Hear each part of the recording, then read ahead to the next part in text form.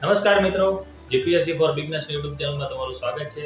મિત્રો, હાલ જ આપણે જોયું એક અપડેટ કે જીપીએસસીની અંદર કે જે નવું કેલેન્ડર ના કહી શકાય, પણ નવી એક અપડેટ આવી છે કે જેની અંદર ટોટલ આપણી પાસે હવે ગણતરીના જ દિવસો રહી ગયા છે. કે કુલ આજથી આપણે જો વાત કરીએ ને, તમે વીડિયો જોશો તે પછી લગભગ લગભગ એંસી દિવસ જ બાકી છે. આપણી એક્ઝામ છે બાર ડિસેમ્બર બે હજાર એકવીસ. કે જીપીએસસીની પ્રિલિમિનરી મુખ્ય પરીક્ષા એ તારીખે લેવામાં આવવાની છે કે જેની અંદર આપણે લાસ્ટ વિડીયોમાં જ આપણે વાત કરી હતી. તમે વીડિયો ના જોયો હોય તો આઈ બટન ઉપર લિંક આપી દઈશ, તમે જોઈ લેજો. કે જીપીએસસીનું જે પ્રિલિમિનરી એક્ઝામિનેશન હોય છે, એની અંદર બસો માર્ક્સના બે પેપર હોય છે. એક જનરલ સ્ટડી વન અને જનરલ સ્ટડી ટુ આપણે વિડીયોમાં પણ વાત કરી હતી કે બે પેપર બસો માર્ક્સના છે જીપીએસસીની અંદર કુલ સિલેબસની આપણે વાત કરીએ તો સિલેબસની અંદર કુલ આઠ સબ્જેક્ટને આવરી લેવામાં આવ્યા છે કે જે આઠ સબ્જેક્ટની અંદરથી બે પેપર બનશે કે જે જનરલ સ્ટડી વન અને જનરલ સ્ટડી ટુ પછી જો આપણે આગળ વાત કરીએ તો એસી દિવસની અંદર એવું તો શું કરી શકાય કે એક્ઝામને ક્વોલિફાય કરી શકાય મેન્સમાં જઈ શકાય અથવા એક્ઝામને સમજી શકાય. મતલબ જે વ્યક્તિ શરૂઆત કરે છે, એ વ્યક્તિ કંઈક ને કંઈક તો શીખીને જ જશે, બરોબર? તો આપણે વધુમાં વાત કરીએ તો એક્ઝામિનેશનની અંદર બે પ્રકારના એપ્લિકન્ટ હોય છે. એક વ્યક્તિ હોય છે કે જે ફ્રેશર હોય છે અને એક વ્યક્તિ એક્સપિરિયન્સ હોય છે કે જે હમણાં બે ત્રણ વર્ષથી પ્રિપરેશન કરે છે અથવા આ વર્ષથી પ્રિપરેશન સ્ટાર્ટ કરી છે અથવા તો ઘણી બધી વર્ષથી તૈયારી કરી રહ્યા છે, પણ ક્વોલિફાય નથી થતા, તો એ લોકોને શું કરવું? અને જે લોકો ફ્રેશર છે, તો ફ્રેશરમાં બે પ્રકારના વિદ્યાર્થી હોય છે, કે જે એક આર્ટ્સ ગ્રેજ્યુએટ હોય છે અને બીજા અધર્સ જે સાયન્સ કોમર્સ બેકગ્રાઉન્ડથી બિલોંગ કરતા હોય છે. તો આર્ટ્સ ગ્રેજ્યુએટની આપણે વાત કરીએ, તો આર્ટ્સની અંદર એ લોકોના જે સબ્જેક્ટ આવે છે એકેડમિક તેમના ટર્મ પ્રમાણે, તો હિસ્ટ્રી જિયોગ્રાફીના બધા સબ્જેક્ટ તો એમના બેઝિક સબ્જેક્ટ હોય છે, તો એમનો બેઝ તો ક્લિયર હશે.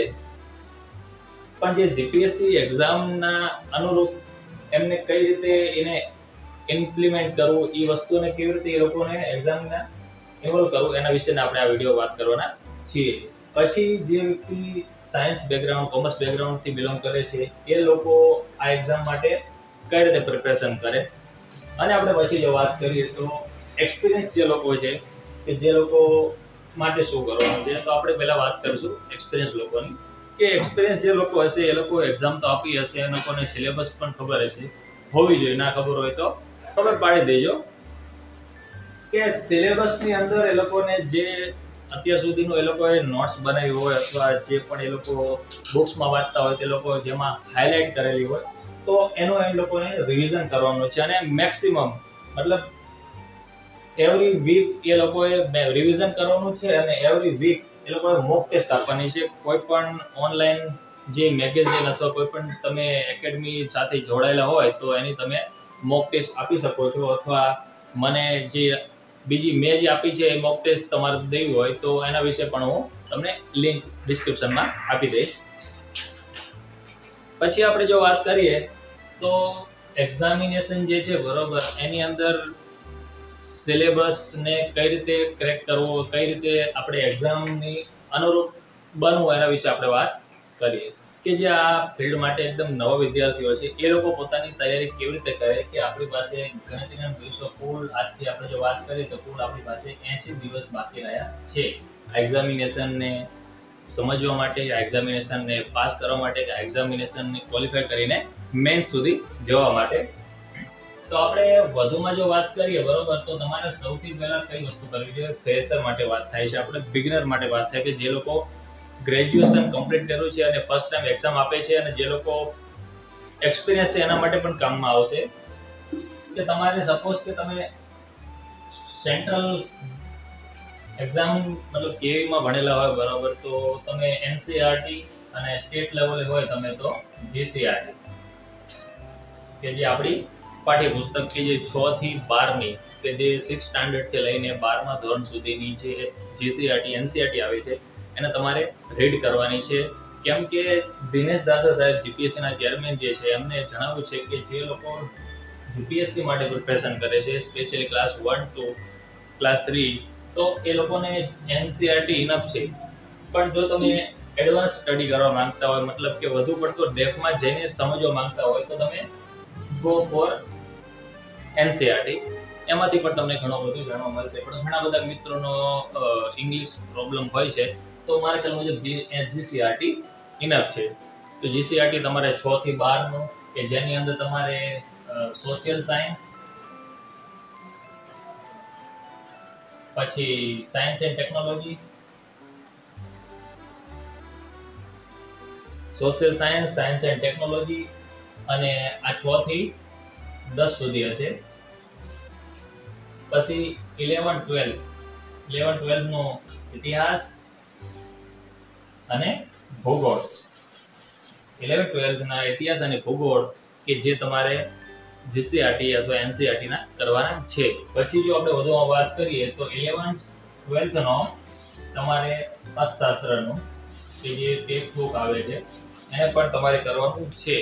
આટલું તમે કરશો એટલે લગભગ લગભગ મારું માનવું છે કે મારો પર્સનલ એક્સપિરિયન્સ છે કે તમારે બે મહિના થઈ જશે બે મહિના મતલબ સાઠ દિવસ તમારે આમાં જતા રહેશે. એક્ઝામને આજે સિલેબસ તમે જોશો કે જીપીએસસીનો તમે ઓફિશિયલ સિલેબસ હું તમને વિડીયોમાં ડિસ્ક્રિપ્શનમાં લિંક મૂકી દઈશ કે સિલેબસ ઓફિશિયલ શું છે. કે તમે આ એક્ઝામિનેશન માટે સાઠ દિવસ તમારા આ બધા સબ્જેક્ટના બેઝિક સમજવામાં જશે. કેમ કે આ બધા સબ્જેક્ટ તમને પ્રિલિમિનરી પાસ કરવા માટે હેલ્પફુલ થવાના છે એઝ પર માય એક્સપિરિયન્સ કે આ વસ્તુ કરીને પછી લાસ્ટ ટ્વેન્ટી દિવસમાં શું કરવું? એના વિશેનો આપણે વીડિયો એ સમયે જ્યારે એક્ઝામ આવતી હશે, આજથી એક મહિના પછી જ આપણે અપલોડ કરી દઈશું કે લાસ્ટ એક મંથ માટે અથવા લાસ્ટ ફ્યુ ડેઝ માટે કઈ સ્ટ્રેટેજી ફોલો કરવી, કઈ એક્ઝામિનેશન માટે એક્ઝામને ક્રેક કરવા માટે કઈ કઈ વસ્તુ ધ્યાનમાં લેવી, એના વિશે આપણે વાત કરશું.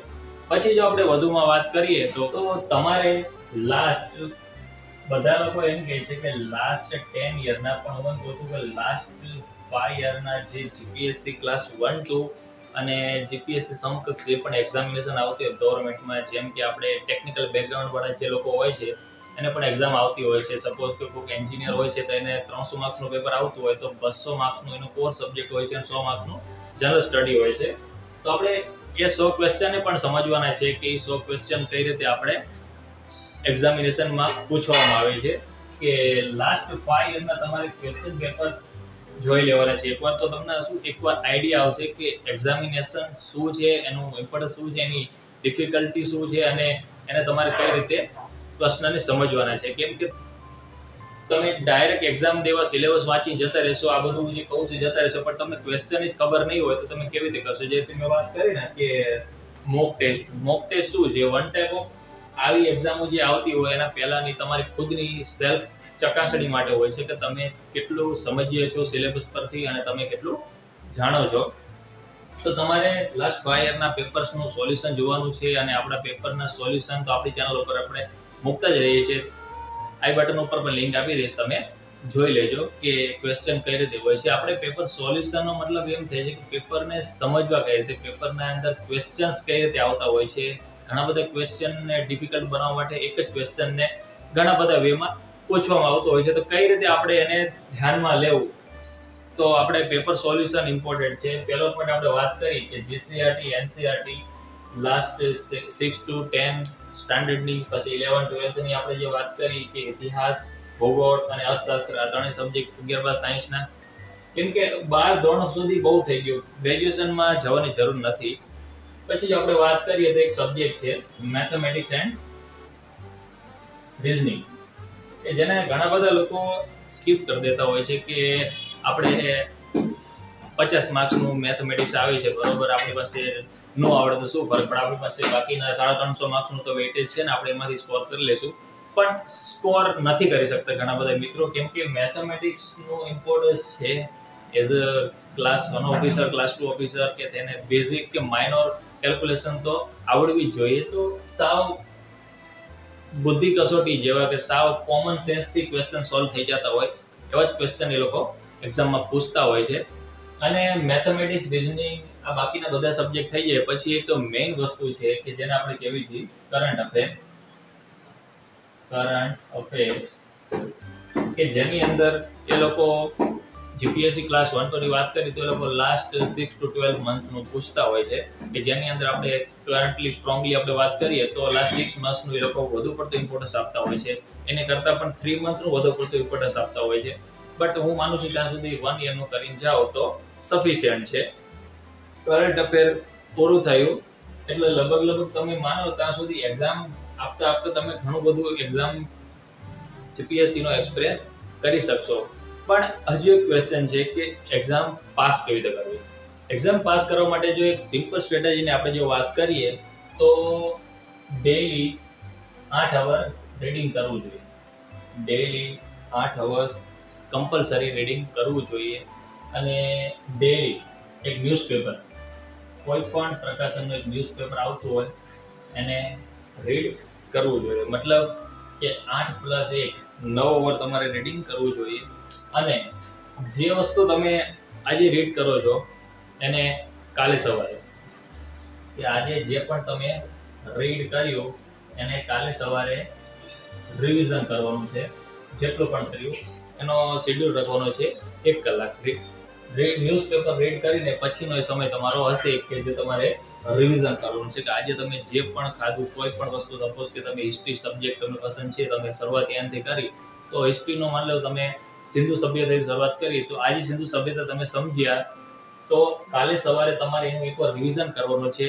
અને પહેલું રિવિઝન બીજે દિવસ સવારે હશે, બીજું રિવિઝન એક વીક પછી હશે કે જે વીકેન્ડની આપણે વાત કરીએ, કોઈ પણ વીકેન્ડ હોઈ શકે તમારા શ્રદ્ધા અનુસાર કે વીકેન્ડમાં એક એનું રિવિઝન કરવાનું છે કે જે તમે આખું વીકલી રિવિઝન કરવાનું છે અને પછી ત્રીજું રિવિઝન મંથલી કરવાનું છે. કે આજે જે તમે ખાધું, આજે જે તમે કન્ઝ્યુમ કર્યું, એને તમારે બીજા દિવસે સવારે એકવાર રિવિઝન પછી વીકેન્ડમાં એક વખત રિવિઝન અને મંથલી રિવિઝન ટોટલ તમે એ વસ્તુને ચાર વાર રિવાઇઝ કરી અને આ બધું તમે જ્યારે રિવિઝન કરશો ત્યારે તમારે નોટ્સ બનાવવાની છે. જે બિગિનર છે કે જે લોકો શરૂઆત કરે છે, એ લોકોને નોટ્સ કમ્પલસરી બનાવી જોઈએ. કેમ કે જ્યારે એક્ઝામ હશે, માની લો કે બાર બાર એક્ઝામ છે, તો ત્યારે તમે રિવિઝન કેવી રીતે કરશો? એક્ઝામના એક વીક પહેલા તમે રિવિઝન ક્યારે કરશો? જ્યારે તમે આ બધી વસ્તુ જાણી છે, સમજી છે, એમાં તમે જે જે પોઈન્ટ્સ આવતા હોય એ તમે નોટ ડાઉન કર્યા હોય, તો એ પોઈન્ટ્સ જે છે, એ પોઈન્ટ્સને તમારે એક નોટ બનાવવાની છે અને નોટમાં તમારે નોટ ડાઉન કરવાના છે. અને લાસ્ટ જે વન વીક કે લાસ્ટ ફ્યુ ડેઝ હોય, એની અંદર તમારે એ બધા સબ્જેક્ટની અંદર નોટ થોડું તમારે રિવાઇઝ કરવાનું છે.